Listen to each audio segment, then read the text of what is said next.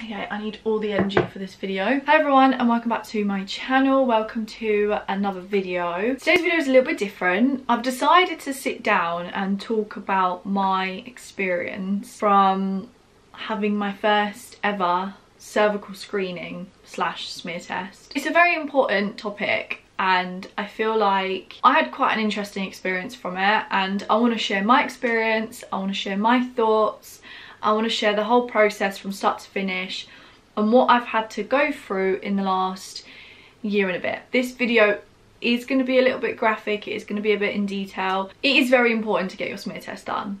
Very, very important. It can save your life. It basically, even if one person from this video decides to get go and get their smear test booked and goes to their smear test, I'll be happy. I understand the worries behind it and I understand the nerves and why people hesitate to go. You know, it's obviously scary, especially for women who haven't ever had to go to hospital, have never had a baby or anything like that. Like, you're not used to people going down there and doing bits. Some people are scared of the results and I again completely understand that. I didn't get the best results which is why I'm doing this video. It is very very important for you to get your smear test done. So please if yours is due or overdue please just book it. The actual smear test is so quick and you've just done something that could potentially save your life. Let's start with my story. I actually wrote things in my little notebook because I didn't want to forget anything.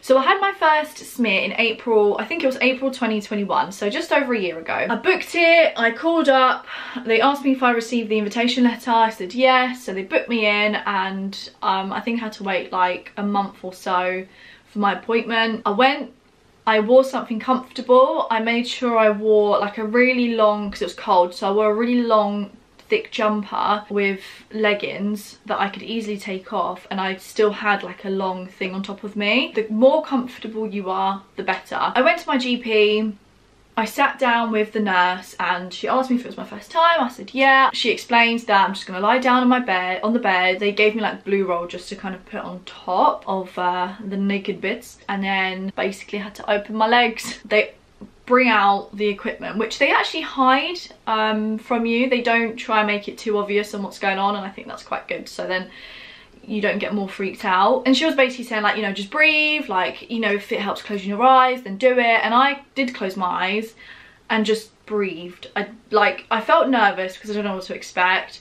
I didn't want to feel tense. And obviously the more relaxed you are the easier it will be for them to go inside. You won't feel as much pressure. And then obviously they lubed the bit of equipment up slowly put it in. She was talking to me at the same time. She, she actually made a funny joke going like oh i'm not looking at what you think i'm looking at. I was like great. Thank you so much. Mine went really really smoothly. She literally went in with it swabbed the cervix and then put it all away. And then i just got some blue roll to clean up that area put my clothes back on. And then she sat me down again and was just like okay this is all done. Like we're going to send it off for testing and you should receive your results between like four to eight weeks I think she said. And that was it. And that was it. And I felt like a woman. I remember like I remember going back to my boyfriend's house being like yeah like I've had my smear test. I'm definitely an adult now. Then I got a letter with the results uh, I think it was like eight weeks after my smear. I was getting a bit worried because it was taking a little bit on the longer side.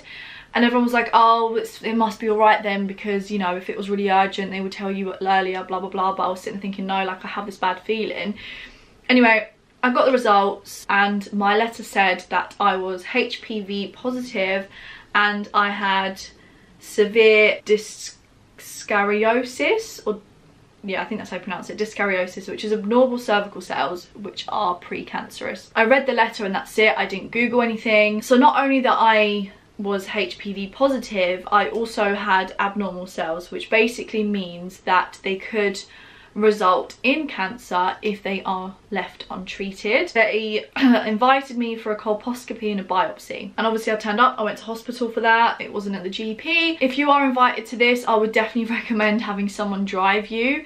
I know some people are actually quite okay from this treatment but I wasn't and I'm really really glad that um, I got my boyfriend to drop me off and wait for me for them for him to pick me up again from the hospital. Another little tip is definitely bring some sort of sugary drink and a chocolate bar with you. Leave it in the car if it's if there's someone picking you up. Bearing in mind my pain threshold is really really crap I've never ever had to go to hospital, touch wood. I'm being completely honest with you, like I'm not sugarcoating anything here. There were three ladies when I turned up at the place, that the hospital that I went to was really good actually. The nurse is really, really lovely. She went through it with me in detail, what's gonna happen again. And then they asked me to get undressed on um, the bottom half my top half was okay because it wasn't too thick, but if you're wearing something really, really thick, they're going to ask you to take that off as well. So I got undressed and then they actually give you like a robe with like the open back. And I had to sit down on one of those chairs with the leg things that hold you up like that. I looked at it and honestly like I actually laughed because you only ever really see that in films and I just didn't really think they like I knew they existed but I was kind of like I didn't know it was done for this kind of thing. So I sat in this chair kind of got comfy in a position they wanted me to be in um, and then the procedure I guess began. So they obviously put like a camera up there which was fine. So they used that smear thing to open up my cervix. And then they put a camera up there and they were just having a look for a little while and just seeing what's going on. Um, I didn't get to see anything. I know some people get to see it if they want to but I didn't. I didn't even ask. I was like you know what? I'd rather just not know what's going on. And yeah they had like a look. Then the pain begins. They took a couple of chunks out of my cervix. They felt like really sharp pinches but in a place that you can't like I don't know, like protect yourself from, do you know what I mean? Because it's like inside, there's nothing you can do. You can't really move because obviously they're doing bits. And they were just like, just breathe through it, you know, um, and the pain went quite quickly from the biopsy. So then they poured some liquid. I don't know what it is, I can't remember the name, but I believe it's to show the cells. So I think the abnormal cells appear in like a different colour or something. Oh my god, I felt like I was going to faint. It was really, really bad period cramps. If you're used to bad period, period cramps, it might actually be okay for you, but I don't really suffer with bad periods. I've only ever had like three bad periods in my entire life. I thought I was going to faint. I was getting really like hot and you could, I could feel like my blood like rushing down. The nurses started talking to me a bit more. I could tell that they thought I was going to faint. And I've never fainted before in my life. They put the fan on and everything. And I didn't faint in the end. Again, remember, I have a very, very low pain tolerance. Then I remember they were trying to stop the bleeding for a while because I bleed quite a lot. My blood is quite thin. It just runs. I had to sit there for like 10 minutes after it was done just to breathe, have some water and just get a little bit like feel a bit more awake again. Once I felt like I was okay to get up, I got up. They gave me a really thick sanitary towel. When I say thick, like I mean like that thick because it's a special doctor one, I don't know. It was very attractive. And I think that was pretty much it from that treatment. When I left the hospital, Pascal picked me up and he basically was like, you look really white. I must have just, like I said, like just all my blood just rushed away. So we actually went to Five Guys and picked up a burger and that really helped me. The recovery period was about four weeks in, I think, roughly. From the top of my head, they say that for two weeks you can't have a bath or anything. For a minimum of two weeks, you can't put anything up so you can't use a tampon, you can't have sex. Do I remember I didn't do anything for four weeks. I just wanted to be 100% sure. And anyway, I actually was bleeding for ages. I actually came on my period pretty soon after the treatment. So not only that I irritated my cervix from obviously having this treatment, I also came on my period and I was double bleeding. So I wouldn't recommend going on your period if you can help it. So if you're like on the pill or something, maybe just skip that. It was a little bit painful at the beginning. For like the first few days, I was quite uncomfortable. I took the rest of the day off from work. I just felt like really heavy and a little bit bloated, a bit sore, a bit kind of like I was on my period actually. And then I had to wait for the results from that. I got the letter back saying that I have abnormal cells that need to be removed from cervix. They invited me for a LLETZ treatment which basically is I think it's a hot wire that burns off the abnormal cells from your cervix. This actually wasn't as bad as the first the colposcopy and biopsy. I remember preparing myself again thinking it's going to be that bad and I brought a fizzy drink with me and a chocolate bar, left it in the car with my boyfriend.